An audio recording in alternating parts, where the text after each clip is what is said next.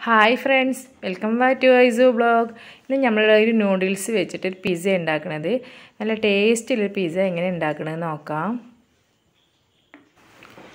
അതിനായി ഒരു പാൻ വെക്കാം. രണ്ട് ഗ്ലാസ് വെള്ളം ഒഴിക്കാം. നമ്മളെ ചാനൽ ഇഷ്ടപ്പെടുകയാണെങ്കിൽ സബ്സ്ക്രൈബ് ചെയ്യുക.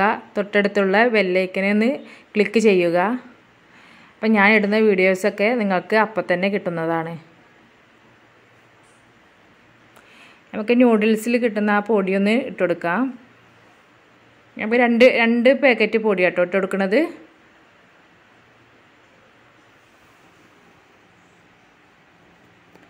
നമുക്ക് ന്യൂഡിൽസ് ഇട്ട് കൊടുക്കാം ഇതിപ്പോൾ ഒരു വലിയ പാക്കറ്റ് ന്യൂഡിൽസാണ് നാല് പീസ് ഉണ്ട് കേട്ടോ ഇതൊന്ന് അടച്ച് വെച്ച് വേവിച്ചെടുക്കാം. ഇത് വെന്ത് വന്നിട്ടുണ്ട്. ഇതൊന്ന് മാറ്റി വെക്കണം. ഒരു പാൻ വെച്ച് കൊടുക്കുക. സൺഫ്ലവർ ഓയിലാണ് ഒഴിച്ച് കൊടുക്കണം കേട്ടോ. വെളു വെളിച്ചെണ്ണ ഒഴിച്ച് കൊടുക്കരുതേ. ടേസ്റ്റ് ഉണ്ടാവില്ല. ഒരു സ്പൂണ് വെളുത്തുള്ളി ഇട്ട് കൊടുക്കാം ഒരു സവോള ഇട്ട് കൊടുക്കാം നല്ലോണം വഴറ്റിയിട്ട് ക്യാരറ്റ് ഇട്ട് കൊടുക്കാം ഒരു പച്ചമുളക് ഇട്ട് കൊടുക്കാം ആറ് മുട്ടയാണ് ഇട്ടത്. ഒരു സ്പൂണ് കുരുമുളക് പൊടി. ആവശ്യത്തിന് ഉപ്പും.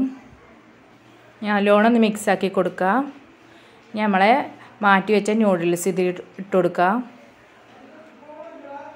നല്ലോണം ഒന്ന് മിക്സാക്കി എടുക്കുക നമ്മളെ മുട്ട മിക്സ് ഇതിൽ ഒഴിച്ചു കൊടുക്കുക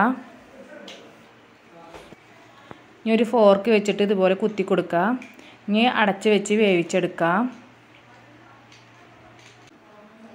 നമുക്കിനി ഇത് വെന്ത് വന്നിട്ടുണ്ട്. ഇതിനി വേറൊരു പാനിലേക്ക് മാറ്റി കൊടുക്കാം. നമുക്കൊരു ഇത് മറിച്ചിട്ട് കൊടുക്കാം.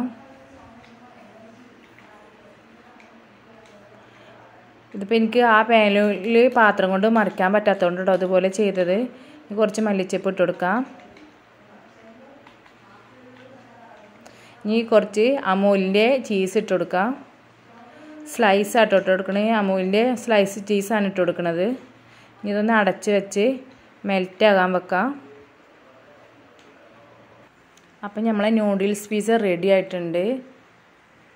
നല്ല ടേസ്റ്റുള്ളൊരു പിസയാണ് കേട്ടോ കുട്ടികൾക്കൊക്കെ ഇഷ്ടപ്പെടുന്ന ഒരു പിസ്സയാണ് ഒരു വെറൈറ്റി പിസ